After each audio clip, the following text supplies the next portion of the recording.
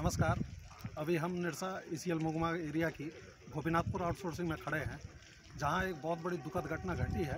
पहले सुबह अवैध उत्खनन के दौरान चाल धंसने से लगभग दो दर्जन से अधिक लोगों के दबे होने की आशंका जताई जा रही है। और आप देख सकते हैं कि निरसापुर विधायक अरूप चटर्जी भी घटनास्थल पर पहुँचे हैं और घटनास्थल का मुआयना कर रहे हैं। सुबह के चार बजे की घटना है।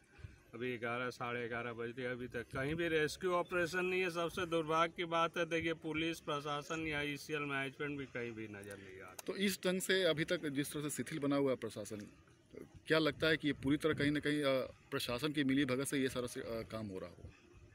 देखिए ये सार्वजनिक है जो कौन लोग इन्वॉल्व है कौन लोग मंथली ले रहे हैं कौन लोग भाटा चला रहे हैं सारे लोग सार्वजनिक है। तो इसमें बोलने की ज़रूरत नहीं है। हम समझते हैं कि इमीडिएटली ऐसे चीज़ों पर रोक लगनी चाहिए। लोगों की जान की कीमत जो है उससे ज़्यादा कुछ भी नहीं हो सकती। लेकिन सबसे बड़ी बात ताजुब की यहाँ ये है अभी तक ई प्रबंधन की ओर से कोई भी रेस्क्यू नहीं चलाया जा रहा है यहाँ। और सी आई एस एफ़ भी आई है, लेकिन किसी की तरफ़ से कोई उचित पहल नहीं की जा रही है कि कुछ बचे हुए अगर हो उनमें तो उनको निकाला जा सके। मिर्सा से संदीप शर्मा